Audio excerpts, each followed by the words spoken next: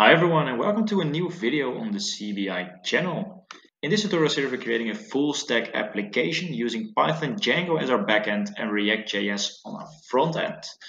This is not the first video in this series. In the last video we've already uh, started by setting up our Python Django backend.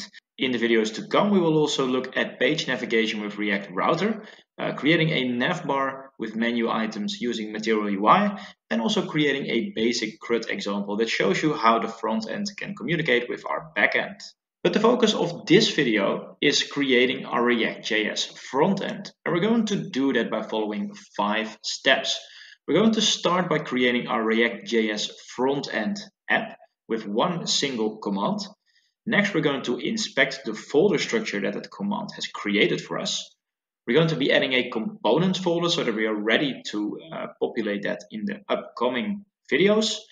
In addition, we're going to make sure that React can communicate with our Python Django backend by installing Django CORS headers in our backend and changing some of the settings in our settings.py file inside of our Django backend. So let's get started with the first step towards integrating React into our Django application. Uh, you can recall from the previous video that we created a back-end folder for our Django code and a front-end folder for our React code. Now, actually, I'm going to delete this front-end folder for now. Um, and I'm now going to open my terminal because we're going to create our React app directly right now from the command line. And we're going to do that with the help from Create React App. This is a very simple uh, way to set up your React web application. You can do everything by just setting up one command. And it's already provided here. You simply use npx create react app and then the name of your application and then we are all good. So I'm going to copy this command and I'm going to paste it in my terminal. But instead of calling it my app, I'm going to call it front end in capitals uh, because it's consistent with the way the rules done backend. So I'm now going to click enter and let's see what happens. And what happens is that I cannot create a name with capitals. So I'm just going to do this again and just call it front and lowercase. And I'll be back with you once everything has been created. Alright, and the code has now successfully run and we can see that a new folder called frontend has been created inside of our project. So let's go into it and see what is actually there. When we open it, we see three main folders. First one is uh, node modules. And this folder contains all of the uh, packages that, we that we're using during development. Um, so this just holds all of the relevant packages that we installed with npm. Next, we've got a folder called public. And you should see this as a folder that stores all of our static files. So you can see that it uh, holds images, it holds uh, our index.html file, and also our favicon file. So this basically holds all of the static files during development. The source file is the really interesting one for development because this is where we're going to develop our application. And currently you will see an app.js file, an index.js file, and some CSS files right here. Now later on we're going to make quite some changes to this uh, source folder so that we can use it as efficiently as possible. On the bottom you also see a few other supporting files such as gitignore file and a package log and package.json files. Now the first thing that I'm now going to change is I'm going to change this folder name backend because I want it to be lowercase as well. And the next thing we'll do is actually start our front-end server and see uh, yeah, what it looks like. So you can already see on the bottom here that uh, we have successfully created it and that we can run several commands. And by using npm start in the front-end folder, we should be able to start our development server. So I'm going to cd into front end because that is where all of those files are going to be. And next I'm going to run the command npm start. And this is going to spin up my local server. All right, and our server has now uh, started successfully. And you can see that uh, on your local computer, you can go to localhost 3000 to get to your application. And when we go to localhost 3000, you can see that our application is up and running. And it also states that we need to edit our app.js file and save to reload. So that's exactly what we're going to test out here.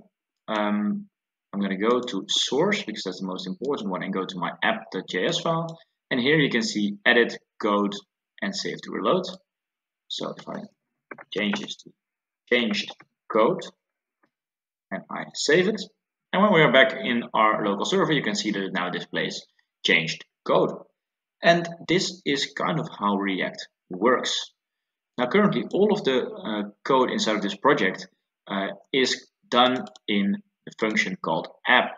But for our next step, we're going to create a new folder called components where basically all of our uh, JS files are going to live and the app file is going to function as a place that conditionally displays different JS files based on the URL. So one of the first changes that I'm going to do is I'm just going to completely delete everything that is in here. And what I'm going to do is just have one simple div that is going to say this is our application. And I'm just going to delete on the top line the logo statement. And when we go back, it now looks like this simple page called our application.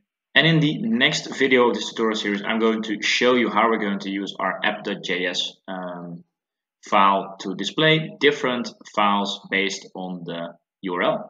What we can already do is create a new folder called components inside of our source folder.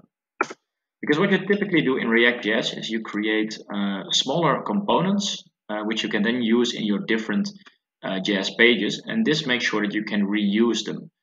Now, one very important thing, and it's one of the final steps in this video, is going to be the communication between our front end and our back end. If I open another terminal right here, next to what we already have, and I cd into my backend folder, and I also activate my virtual environment by doing venv slash scripts slash activate.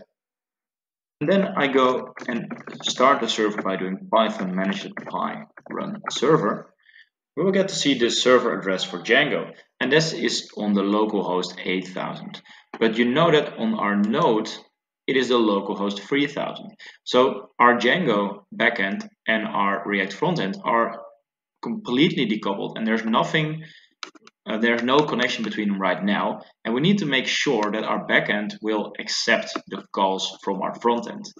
Um, and to do that we need to change some of the settings in our backend and before we can uh, make the change to our settings we first need to install a package called Django CORS Headers. And Django CORS Headers is going to help with the communication uh, between two different domains. Because as you just saw on my local computer, our Django domain is on localhost 8000 and our React.js code is on localhost 3000. Also, when you deploy these applications, they're likely going to be on different uh, web addresses, and you need to indicate in your backend that it can receive calls from different domains. You need to specify those. Back to our Django code, we need to go to our backend here. So I'm going to go to my terminal that has the backend uh, all set up. I'm going to stop the server and we're going to do pip install Django CORS headers. Now let's check one more time if that's correct. Yes, it is pip install Django CORS headers. Alright, we've now installed Django CORS headers. So let's see in the documentation what we need to do to get this to work. Well, one of the first things we need to do is the installation, which we've just completed. Uh, the next thing is we need to add it to our installed apps. Um, so I'm just going to copy it here. We need to add CORS headers to the installed apps into my settings. So we're going to go back to my settings.py file. And here under installed apps, I'm going to place it right here. I'm going to include CORS headers. And the next thing that we need to do is we need to add a middleware class item uh, to listen in on responses. So you can see that it puts CORS headers.middleware.CORS middleware on top of Django middleware.common common middleware. So I'm going to copy this one right here. And it also specifies that the CORS middleware should be placed as high as possible, especially before any middleware that can generate responses, such as this one.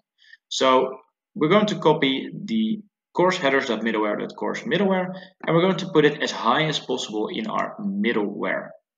So back in our settings under middleware, and there I'm just going to put it as high as I can.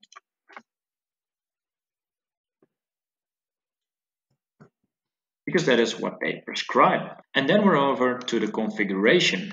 Um, and we can configure the behavior in our Django settings. We must have at least one of three settings.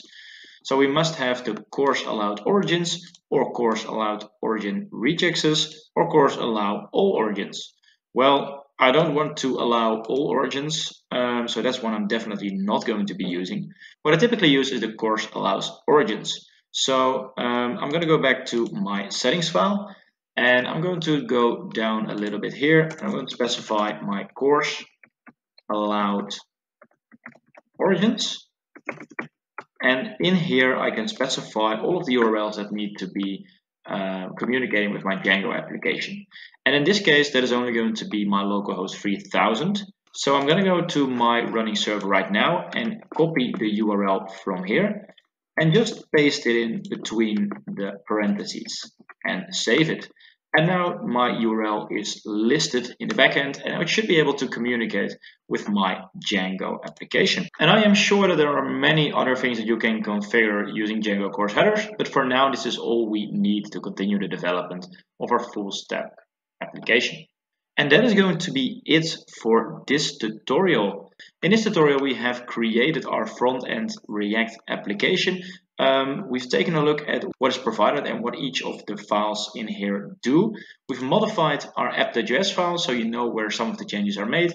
And we already created a components folder. And lastly, we made sure that our front-end and back-end code can communicate with each other by introducing Django CORS headers. I want to thank you very much for watching this video.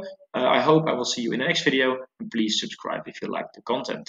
Thank you and bye bye.